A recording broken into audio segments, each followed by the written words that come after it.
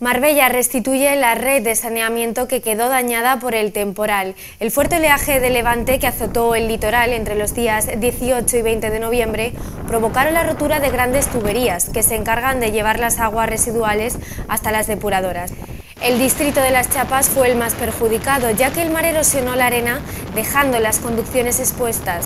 Casi 350 metros de tuberías quedaron dañadas, además de los pozos de registro en la playa de San Pedro, lo que provocó vertidos de las aguas procedentes de Puerto Banús, Nueva Andalucía y San Pedro Alcántara.